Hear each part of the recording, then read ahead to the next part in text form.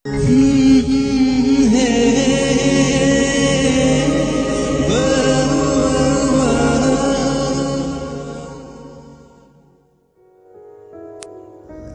আলাইকুম ফ্রেন্ডস কেমন আছেন সবাই? আশা করছি ভালো আছেন। আজ আমি আপনাদের জন্য ভালোবাসি প্রিয়তম গল্পের সিজন টু এর একুশ নাম্বার পর্বটি নিয়ে হাজির হয়ে গেলাম।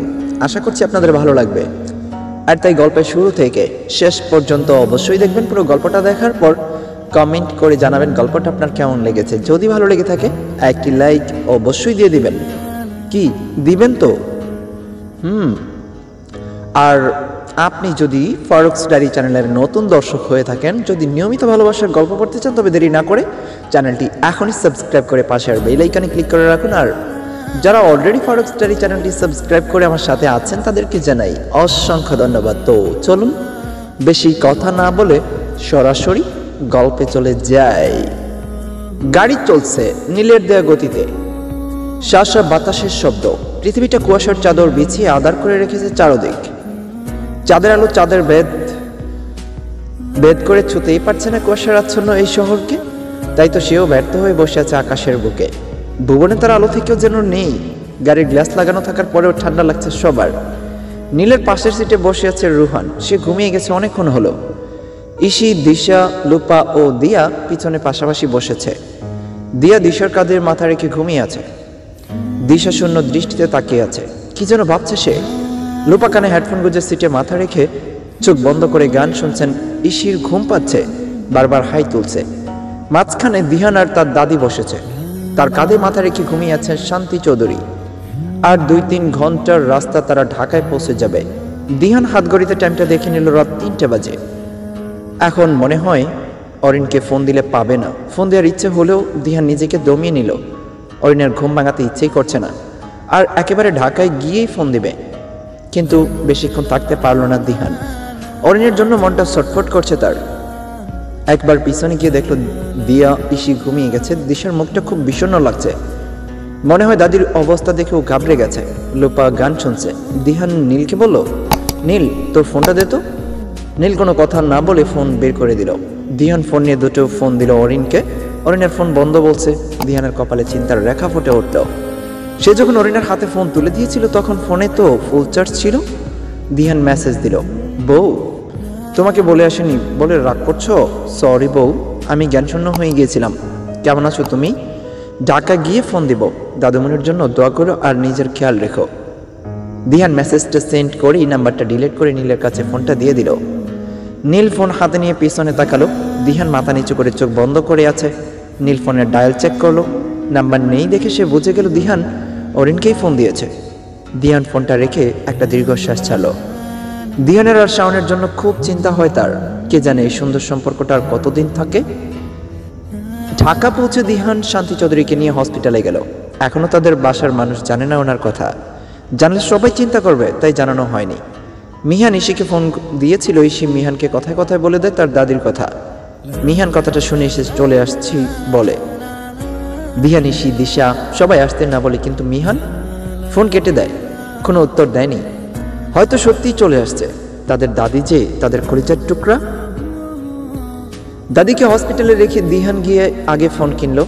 ফোন কিনে অরিনকে আগে ফোন দেয়। অরিনের ফোন এখনও বন্ধ।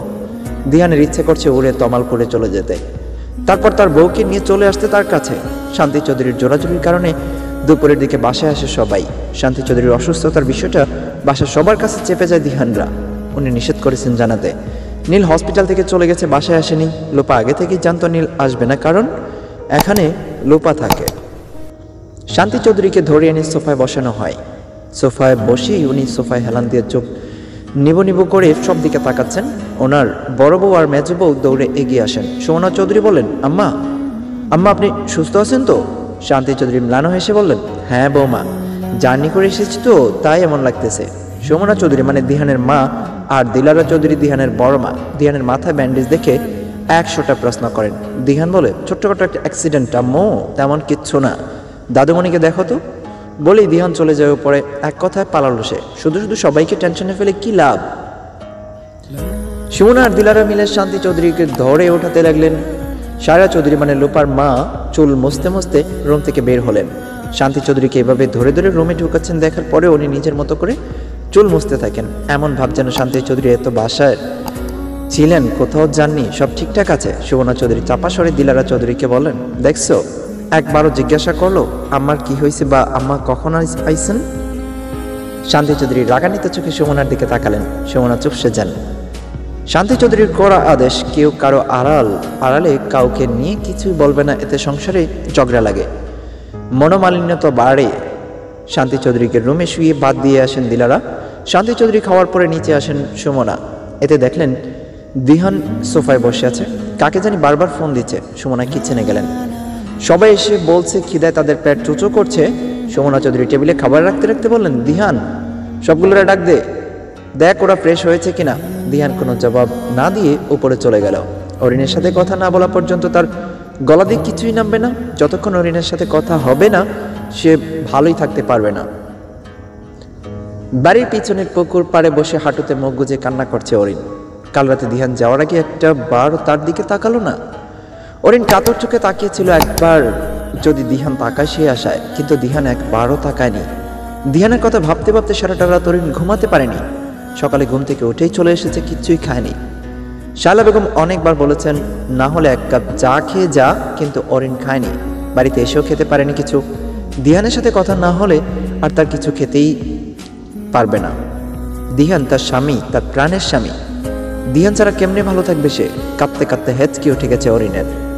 দিহানের কি একটাবার ইচ্ছে করছে না ফোন দিতে? এত নিষ্ঠুর কেন সে? খুব তো বলেছিল, কথা না হলে মরে যাব। এখন কই গেল তার কথা? কাঁদো কেন অরিন? হঠাৎ পুরুষ কণ্ঠ কানে আসতে কেঁপে ওঠে অরিন। এরকমটা একটা নিরিবিলি পরিবেশে এইভাবে কারও গলা শুনলে কে না কেঁপে উঠবে? অরিন চোখ ঘাড় মুখ অরিন গার গুড়িয়ে পিছনে তাকালো। বাবুল মিয়ার বাতিজা ইমন দাঁড়িয়ে আছে। শ্যামবর্ণ গায়ের রং ছেলেটার। ফিগারটা বেশ ভালো। সাদা রঙের একটা শার্ট পরেছে, কালো ট্রাউজার। দেখতে ততটাও খারাপ লাগছে না। অরিন বাড়িতে আসার পরে আমির নেসা তাকে ডেকে নিয়ে বলেছেন, কাল রাতে নাকি বাবুল সাহেব ও মেম্বার সাহেব এসেছিলেন। উনি ওনার ছেলের জন্য নিতে পারেননি তো কি হয়েছে? ওনার ভাতিজার বউ বানিয়ে অরিনকে নেবেন। লোকে যা বলার বলুক, তাতে নাকি ওনার কিচ্ছুই যায় আসে না। অরিন উঠে দাঁড়িয়ে কোনো কথা না বলে চলে যেতে থাকে। ইমান পথ আটকে দাঁড়ায়। অরিন জাজালো গলায় বলে পথ আটকাচ্ছেন কেন? পথ ছাড়ুন। ইমন বলল, কাঁদলা কেন তুমি? অরিন বলল, সেটা আপনাকে বলতে হবে। ইমন বলল, না, বলতে হবে না, কিন্তু আমার জানতে ইচ্ছে হলো আর কি। অরিন বলল, পথ ছাড়ুন। ইমন বলল, হুম, ছাড়ছি তো। আসলে চাচা আমাকে পাঠিয়েছিল তোমার মায়ের সাথে কথা বলতে। তোমার মা নাকি আমাকে কি বলবেন? কিন্তু উনি ঘরে নেই। তোমার চাচাতো বোন বলল, তুমি পুকুর পাড়ে আছো? অরেন বলল যার সাথে কথা বলতে এসেছেন, তার সাথে কথা বলে যান। আমার সাথে কথা বলছেন কেন? চপ্ত সব। অরিন ইমনের পাশ কেটে চলে গেল। ইমন কিছু না বলে ওখানেই দাঁড়িয়ে থাকল। অরিনের আত্মরাগ, সেটা জানা ছিল না ইমনের।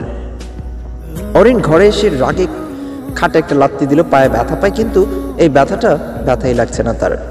দিহানের জন্য যে ব্যথা লাগছে, সেটার কাছে এটা কিছুই না। তার স্বামীর কোনো খোঁজ নেই। এর থেকে বেশি কষ্ট আর কি হতে পারে? অরিন ফোন হাতে নিল। ফোনটা দেখে তার মা জিজ্ঞাসা করেছিলেন, ফোন কই পেল? অরিন বলেছে, নানুমণি দিয়েছে। জোহরা ও বিশ্বাস করে নিয়েছে। দ্বিতীয় কোনো প্রশ্ন করেনি আর অরিন ফোনের পাওয়ার জ্বালায়। এখনও একটাও কল আসেনি। রাগে অরিন ফোন রেখে দেয়। ফোনটা রেখে আবার ওর সাথে সাথে ফোন হাতে নেয়। এরোপ্লেন মোট করা। অরিন আহাম্মকের মতো হাঁ করে বসে থাকে। এটা এতক্ষণ ধরে সে খেয়ালই করেনি? আর শুধু শুধু দোষারোপ করছে দিহানকে? নিজের উপর এত রাগ হচ্ছে, তার ইচ্ছা করছে কেঁদে দিতে। সে এয়ারপ্লেন মোড অফ করে দিল। নেটওয়ার্ক পেতেই সাথে সাথে একটা মেসেজ ঢুকলো। মেসেজ পড়তে লাগল, মাত্রই কল আসে। অরিন এক মুহূর্তে দেরি না করে রিসিভ করল। অরিন হ্যালো বলতে দিহান বলল, ওই, তুমি ঠিক আছো তো? ফোন বন্ধ কেন তোমার? অরিন কিছুই বলে না। দিহান আবারও বলে, জানো টেনশনে আমার দম বন্ধ হয়ে আসছে। আর তুমি ফোনটা বন্ধ করে রাখছো? আমি বলে আসিনি, বলে রাগ করে আছো? তুমি আমার পরিস্থিতিটা বোঝোনি। অরিন ডুকরে কেঁদে ওঠে। দিহান নিশ্চুপ হয়ে যায়, অরিন ফ্যাস ফ্যাস করে কাঁদতেই থাকে। দিহান কিছুক্ষণ চুপ করে থেকে বলে, সরি বউ। অরিন চোখ মুছে বেজা গলায় বলল, কেন? দিহান বলল, দাদুমণির অবস্থা দেখে মাথা কাজ করছিল না। কি করতাম বলো? অরিন বলল, আমি রাগ করিনি। আমার খুব কষ্ট হচ্ছে, আপনাকে খুব মনে পড়েছে। আমি পারছি না থাকতে। বলতে বলতে অরিনের চোখ দিয়ে আবারও জল গড়িয়ে পড়ল। দিহান ভাঙা গলায় বলল, আমারও খুব কষ্ট হচ্ছে তোমাকে ছাড়া। ইচ্ছে করছে চলে যাই তোমার কাছে। তুমি চিন্তা করো না। দাদুমণি পুরোপুরি সুস্থ হোক, আমি দাদুমণিকে বলে দেব সব কিছু দেখবে খুব শীঘ্রই আমরা এক হয়ে যাব। দাদুমণি তোমায় অনেক পছন্দ করে আমার বিশ্বাস। না বলবে না, অরিন লজ্জায় লাল হয়ে যায়। অরিন বলল, হুম, জানি। অরিন আর দিহান অনেকক্ষণ কথা বলে তারপর দিহান ফোন রেখে দেয়। বাইরে থেকে চিল্লাচিল্লি শোনা যাচ্ছে। দিহান বাইরে এসে দেখল মিহান চলে এসেছে। দাদির গলা জড়িয়ে ধরে বসে আছে। দিহান হাসলো। এই ছেলেটা দাদি আর বইয়ের পাগল, এই দুইটা ছাড়া সব কিছুতেই তার তুচ্ছ, তার কাছে তো ফ্রেন্ডস আজকের গল্পের পর্ব এতটুকুই ছিল। আশা করছি আপনাদের ভালো লেগেছে। যদি ভালো লেগে থাকে, একটি লাইক দিবেন কমেন্ট করবেন, আর যারা আমাদের চ্যানেলটি সাবস্ক্রাইব করেননি, তারা অবশ্যই চ্যানেলটি সাবস্ক্রাইব করে আমার সাথেই থাকবেন। আর অনেক বেশি ভালো থাকবেন, সুস্থ থাকবেন। সেই কেমন আয় আল্লাহ হাফিজ বাই টাটা।